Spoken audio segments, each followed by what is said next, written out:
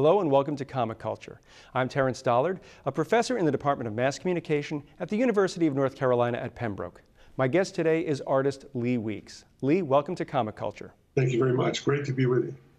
Lee, you are known as, um, I, I, guess, one of the, the masters of comic art. That's how they refer to you at Heroes Con every year, and I don't disagree. And I wanted to talk a little bit about uh, your philosophy for storytelling, which is um, actually so expressive, so much fun to look at. And I'm wondering what's going through your head as you get that script and you start to put uh, pencil on page. I'm not sure that I've ever been one to have a, a, a really specific method, although I, I must have. But um, it was drilled into me very early on in my year at the Kubert School that uh, storytelling and clarity is first. So to me, it's it, when I get a script, I've received a puzzle, and my job is to figure out the puzzle and, and to make it work in a visual the sequence in the in the best way possible that would give the reader as few hitches as possible. So it really comes down to clarity first. And once I've established the clarity of a scene and of the story, then to push and pull things in a way to, to evoke more emotion. So you want people to think, you want people to feel. I've been looking at your Batman work recently, and, and the one thing I notice in that is that you are taking some real risks with storytelling um, sometimes it's very cinematic, sometimes it's very, uh, I guess, intimate and, and more personal. So when you're solving that puzzle, how do you get the sense of like this scene should be uh, big explosive action and this scene should be more of that moment when the character is realizing something? Generally, the script really dictates that to me. And as far as uh, you said, taking a risk, I, I, don't even know that I'd be aware of it as a risk at the time that I'm doing it. I'm just trying to find the best moment. Um, and and I do. Uh, uh, I was thinking of this just this morning. I do enjoy very much finding the intimate places. And sometimes that, when I say intimacy I, in storytelling, it may be close on a finger and a thumb that's turning a key in an ignition. You know, places where you can zoom in on the tiniest of detail and not break the flow of storytelling. And I like those moments because it just it, it, it, to me, it evokes uh, um, a little bit of the childhood wonder of things that you're so fascinated with details and and uh, and such. So, um, in terms of the big explosive moments, again, it just it just comes down to what the script is calling for. But what I do like to do is sometimes the obvious, um, what seems obvious initially in a script, I may sometimes try to how can I turn this upside down?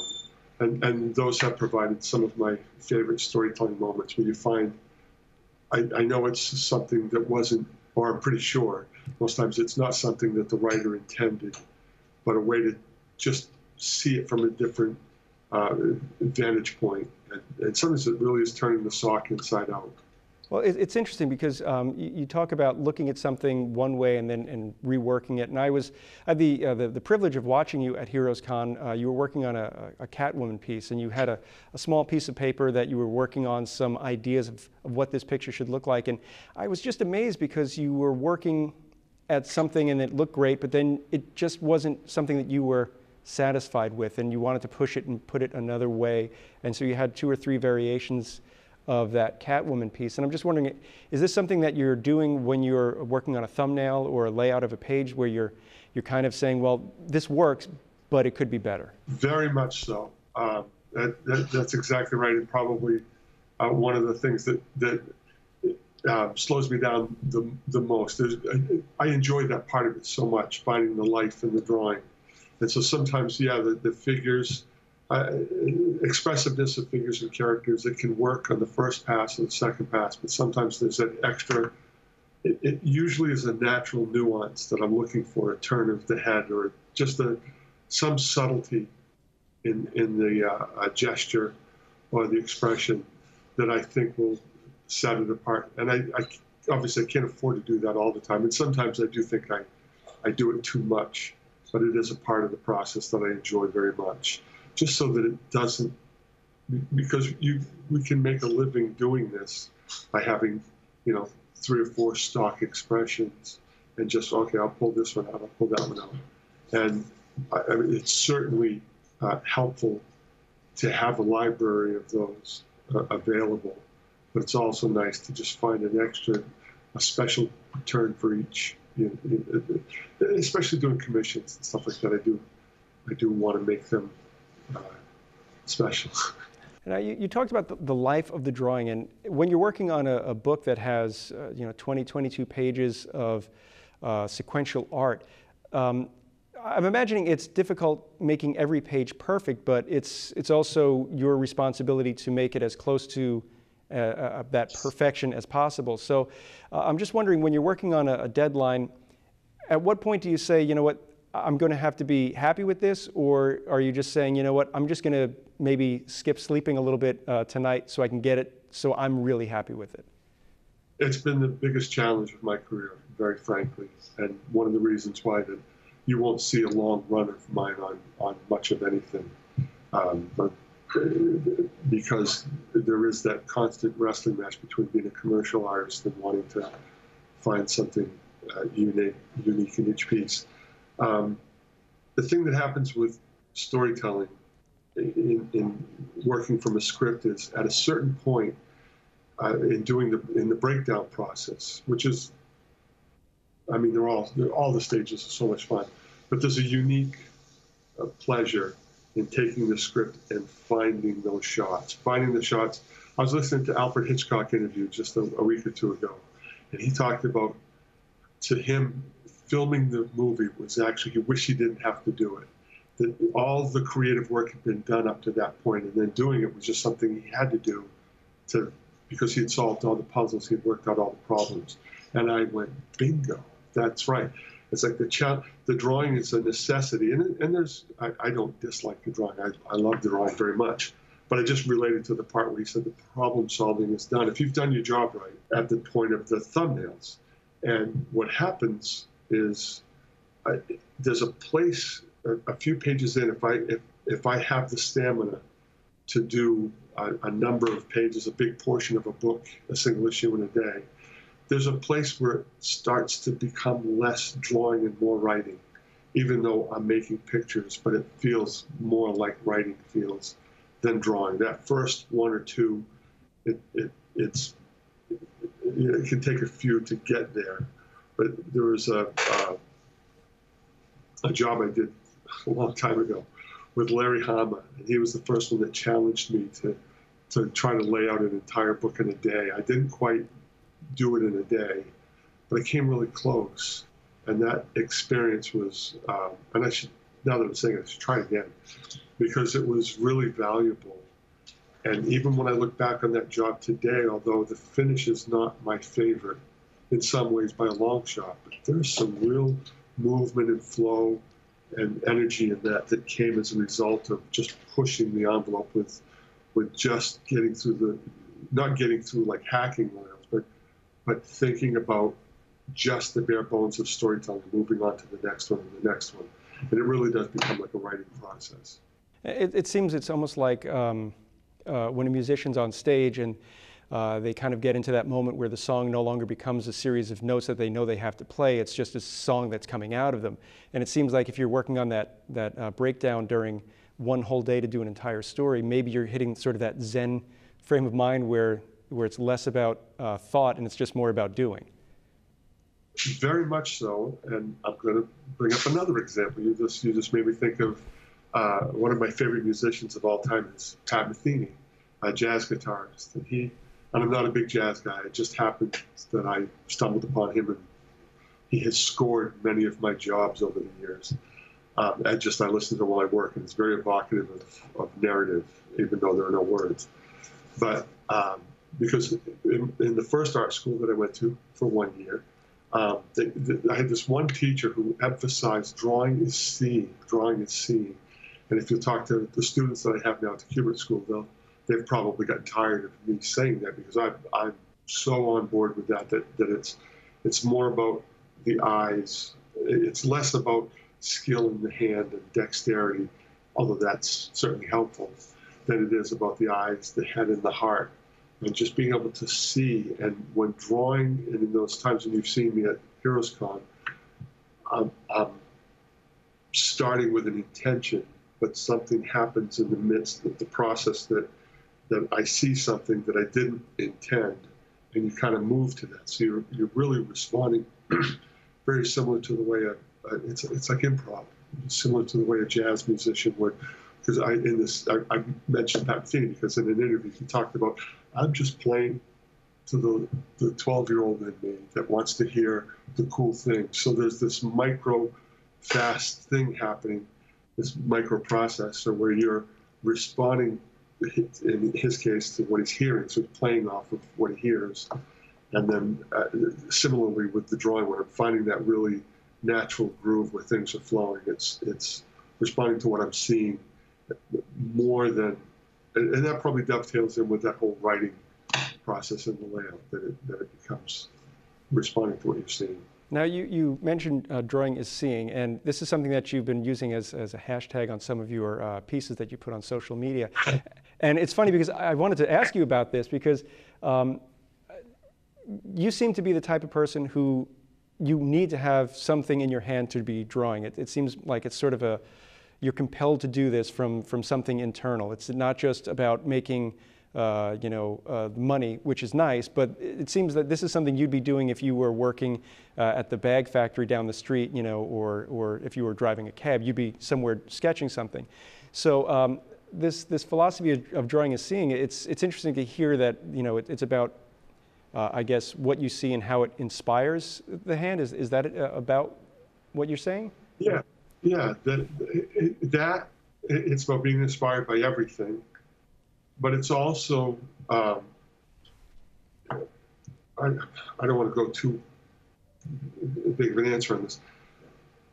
There are rules to drawing. There are rules to music. There are rules to you know. There are fundamentals that make that help one along uh, to become proficient and good enough to do something professionally. I went to art school. I learned about uh, anatom, anatomy, uh, anatomical proportions, uh, heroic figure is eight heads tall. So we have a we have these guidelines to help us. But at a certain point, those rules can only take you so far. And it's our observations of the way things work that can't really, and I don't think, I, I haven't learned anyway, how they're it, it, expressed in rules.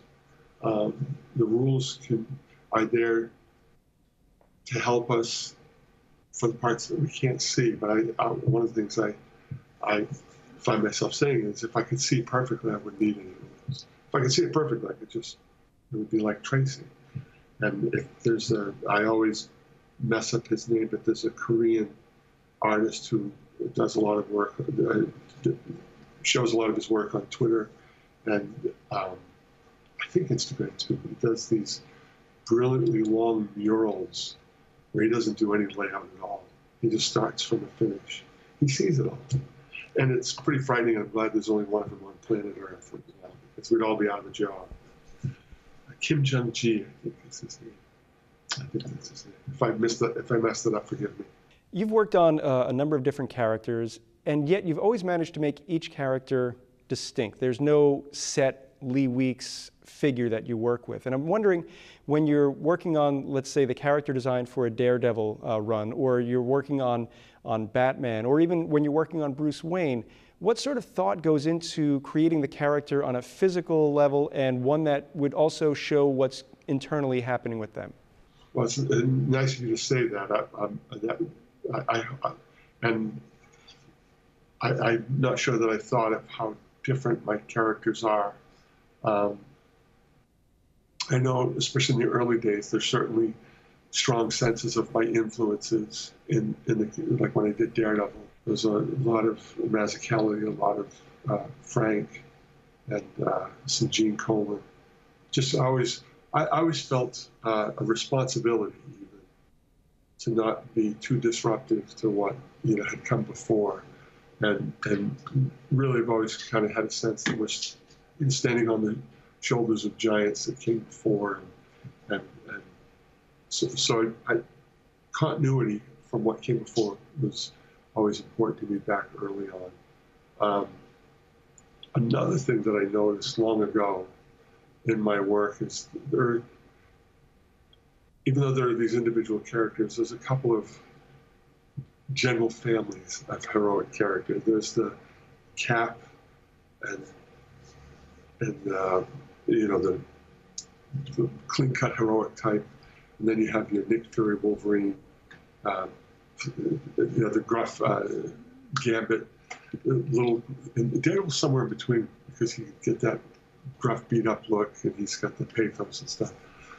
But at some point I noticed, I don't know if this is revealing too much, but the heroic ones with the, the square jawed and the, I often saw my older brother in them.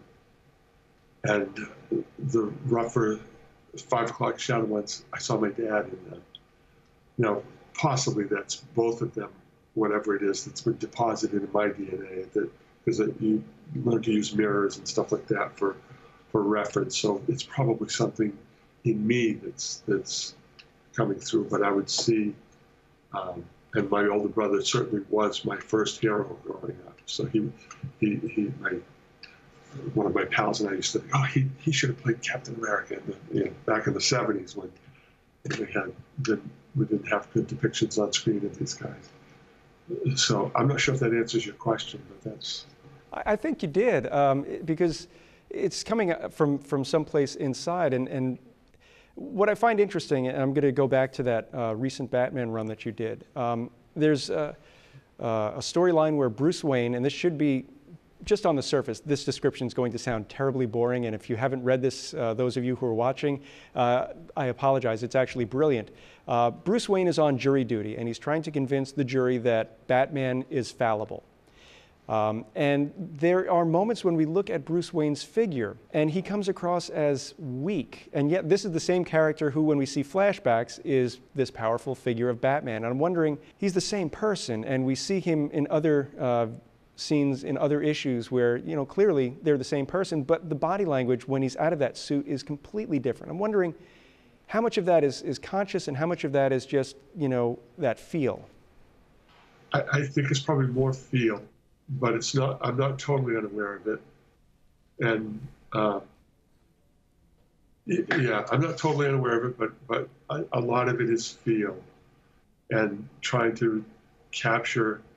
I, I, I, if anyone looking at my career can see, I, I have an affection for characters with heavy doses of pathos. So, so where that and that dichotomy, that that that uh, juxtaposition of the of the uh, more confident, maybe more confident in what he's doing when he's got the ears on. I, I honestly have never thought of it that way, but as you're asking the question, that's what I think it probably is. That maybe he allows himself more of that vulnerability and unsureness as Bruce that he can't afford to as, as Batman. How's that for an off the cuff? Never thought of before answer. But it makes me think of that Superman scene when Christopher Reeve does the the change with a head turn. You know the scene I'm talking about, where you mm-hmm. see both mm-hmm. personalities in just this subtle acting that I think is probably underappreciated for how, how brilliant it was. One of the things that uh, that I am struck about in this jury scene is that you have, I guess, uh, 11 other characters in the book who are just random people, and yet you've managed to find a personality for each and every one through the way that you draw them, whether it's uh, a unique facial expression or whether it's body language. And again, uh, I'm going to be the broken record. How are you coming up with this solution? Is this something where each of these characters is someone because you're thinking of somebody? Or is it somebody because that serves the story? Or is it just, you know, again, it's that internal and it just kind of comes out as it comes out? Part of it is in the script. Uh, there's a, a little bit of a description in the script, but then certainly I went with it. And I think there's almost a, uh, a fear or an aversion or, or, or, or, I know I didn't want to get caught making two of the same, you know. And, and one reason it would just it could get confusing pretty quickly when they're all sitting around one table if you cut one to the other and they're too similar. That uh, um, so we needed some some clarity. There were a couple of them that were based on actual people. Um, I got outed on one of them. It was a little too close of a likeness, but some of them are just people that I know that, no one else, you know, reading books would know. it, it's funny because that job and even the previous job, it, it's interesting that you say start out by saying people are going to think it's boring or I think I probably thought that too when I was drawing it. But if it's a good idea and you, and you, play the tension right, I think Tom King does a brilliant job with those kind of settings, those kind of scenes. Um, and I love to try to explore the more subtle, where you don't need extreme action to to uh, tell a story. Um, it, it really does hold together pretty well. He, he did a great job in just you know balancing out the all that quiet stuff with some pretty good punctuated action scenes. I thought. It is a, a, testimony to Tom King and his writing ability, uh, and I'm surprised he didn't draw the book himself because I've seen some of his uh, his uh, original uh, cover sketches online, and, and, really I don't know why he needs you at all. I tell him that every time. I think he just feels sorry for me. You know, wants to make sure that I'm, I'm got a roof over my head, I guess. So he lets me draw a few. of them. Now, I, I wanted to just uh, go back to, um, uh, again, just talking about the Batman run because it's what I've been looking at lately. There's a, I guess it was the annual that you'd worked on where, uh, where Catwoman is, is coming by Bruce Wayne's, uh, I guess, Wayne Manor, and um, leaving little, uh, you know, trying to get him to trap her, and she's always successful getting away. Uh, and there's just a, a double page spread that to me is I, I, don't know why it's so brilliant, but it is. It's, uh, it's a rooftop scene where uh, it just seems like maybe two thirds of the, the entire page are shadows and, and, and maybe some skyline. And the figures themselves are, are very small on the page, and yet that makes the scene so powerful. And I'm wondering, uh, is this something that's in the script, or is this something that you're looking at the script and interpreting it uh, the best way to tell that, that story, that distance between the two? Oh, it was definitely in the script, the two-page spread with just the two little figures. But then it's finding where those two little figures, where, where that happens, where, where that emotion happens. Because it, it's a funny thing, but it, you know, you move. I, I, again, go back to subtleties, and, and I talk about this with the students. You just change a crop a little bit. You crop a little bit more, a little bit less of the forehead. You come in a little bit more from the left, a little bit. On a clo- I'm talking about close-ups now just changes. And it doesn't just change that shot, it changes the page. Every change changes everything. So it's still, even though it's simple, it's not always easy to get there and to find just the right amount of, uh, and, you know, playing around with just how much was going to be black and how much, um, and certainly I benefited, we all benefited greatly from Elizabeth Breitweiser's colors. She just, she she is the, the most perfect colorist, I, and I've worked with great ones. I've worked with a lot of great ones. In some ways, I'd say we're in the, the golden age of comic book coloring. There's so many talented colorists, but I feel an extra level of simpatico with Elizabeth, and she just really seems to know what to do with uh, with what I've done. But yeah, that was a, that was a neat, fun, fun story and a, and a fun double page spread. But you think, oh man, I can do two little figures. I can, get paid for two pages, and then a day and a half later, it's like I'm still trying to figure out how to where to place them. It's like, yeah, it probably didn't take me that long, but, but it, it, you can spend a lot of time moving things around just to get just the right pop. And it reminds me of, um, uh, I guess it would be a pinup that you did of. Uh, it's Batman and Catwoman's uh, heads, and it's it's mostly just a black background, but there's just enough information to show you their two faces. They're looking at each other, um, and we talked a little bit about that, how um, how you worked on that. I was wondering if you could just tell us a, a, little bit about how that idea came about, and and you know how you were able to execute it. I think that's when I was working on the uh, uh, Cold Days story arc, the Jury story arc and they called and asked if I'd be willing to do a page for issue 50. And I decided that I can't believe they're asking me to do a page. I'm, I'm like right up against it with the deadline. I didn't say that out loud, just inside. I was, and I and what came out was uh, just give me overnight, give me overnight to see if I could think of something while I worked. I wanted to work to see if I could think of something. And as I was either working or I, I just backbrained it while I was working on what I was doing, I think. And, it, and this image popped into my head pretty close to what it came out like. I had an idea that well, that's something I could do. It'd be simple, it'd be stark, striking, and uh, hopefully I could do it quickly. But it didn't end up being quick. It, it, that one really did end up being a, about a day and a half of tweaking and adjust. I mean, I had the drawing in no time, but then making the adjustments and and that idea of of uh, the forms disappearing into the black and reemerging, and just I, I played around with uh, a lot of unconnected lines, just just the the, the space between the the lines to it creates like a little synapse, a little a little bit of attraction and dynamics. I, I played around with that a lot, and uh, it's one of my favorite drawings. Tom keeps trying to buy it from me, and, and, and I feel guilty that I, I, won't. Well, it, it's funny because I was um, uh, this morning. I brought in some pieces that I've uh, some prints of yours that I brought in. Uh, put one on the set behind it. And I was showing everyone that piece, and everyone was just like, "Wow!"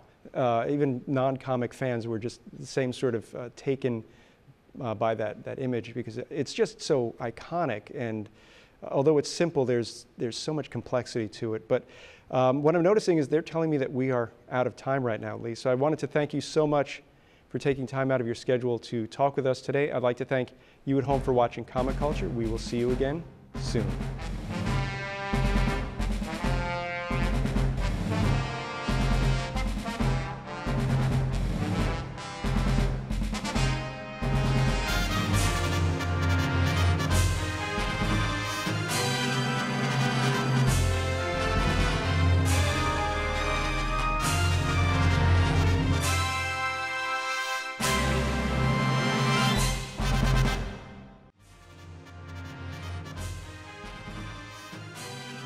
Comic Culture is a production of the Department of Mass Communication at the University of North Carolina at Pembroke.